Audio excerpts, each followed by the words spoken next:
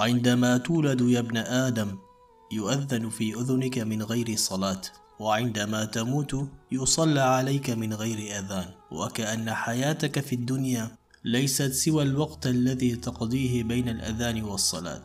فلا تقضيها بما لا ينفع. فانظر إلى حقيقة الدنيا.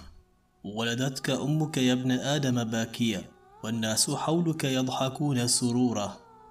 فاعمل ليوم أن تكون إذا بكوا في يوم موتك ضاحكا مسرورا.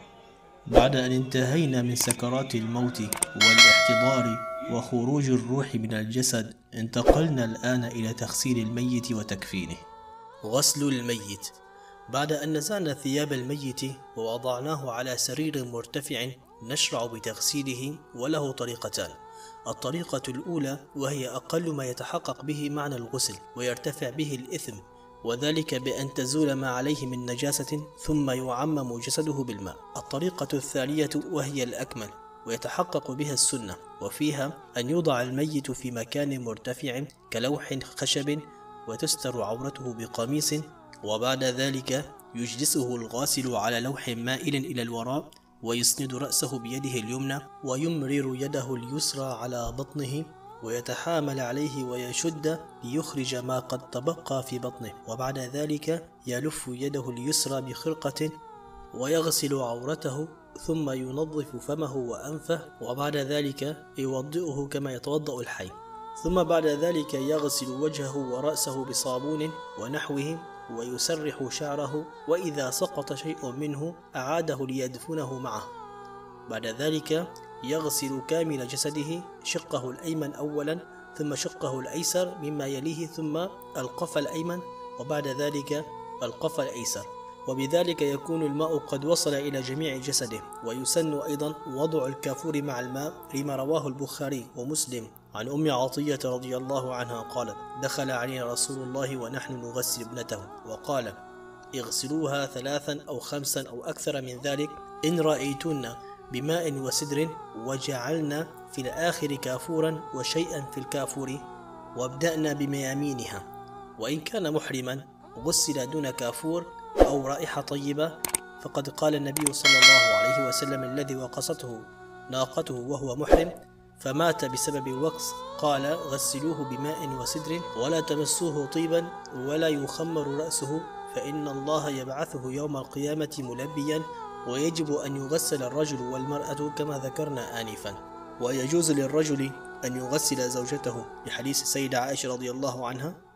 قال ذاك لو كان وأنا حي أي يعني الموت موت السيدة عائشة رضي الله عنها لغسلتك وكفنتك ودعوت لك فدل الحديث على جواز أن يغسل الزوج زوجته وليعلم أن الشهيد في المعركة لا يغسل. ثانيا الكفن. وأقل الكفن المطلوب أن يلف الميت بثوب يستر جميع بدنه ورأسه إن كان غير محرم. والواجب ثوبا يستر عورته على الأصح.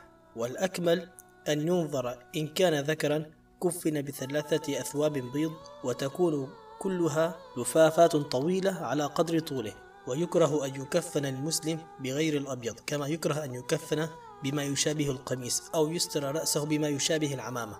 لأن النبي صلى الله عليه وسلم عندما توفي كفن في ثلاثة أثواب بيض سحولية ليس فيها قميص ولا عمامة والسحولية البيضاء تعني من القطن والمرأة تكفن بخمسة أثواب بيض وهي إزار يستر بدنها. وخمار يستر رأسها وقميص يستر أعلى جسدها ما دون الإزار كما فعل ببنت رسول الله صلى الله عليه وسلم وهي أم كلثوم كفنت بهذه الأثواب. ويكره أن يكون الكفن من حرير. وسنكمل معكم الفيديو القادم إن شاء الله.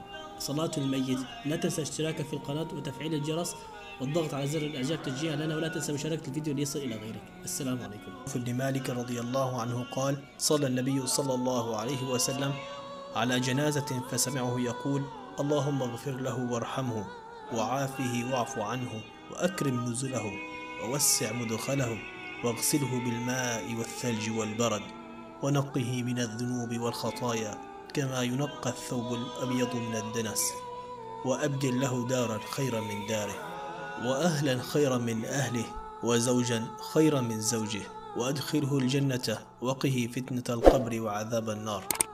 قال عوف فتمنيت أن لو كنت أنا الميت لدعاء النبي صلى الله عليه وسلم على هذا الميت. خامسا ثم يكبر التكبيرة الرابعة ويقول بعدها اللهم لا تحرمنا أجره ولا تفتنا بعده واغفر لنا وله. عندما تولد يا ابن آدم يؤذن في أذنك من غير صلاة وعندما تموت يصلى عليك من غير أذان وكأن حياتك في الدنيا ليست سوى الوقت الذي تقضيه بين الأذان والصلاة فلا تقضيها بما لا ينفع. فانظر إلى حقيقة الدنيا. ولدتك أمك يا ابن آدم باكيا والناس حولك يضحكون سرورا. فاعمل ليوم أن تكون إذا بكوا في يوم موتك ضاحكا مسرورا.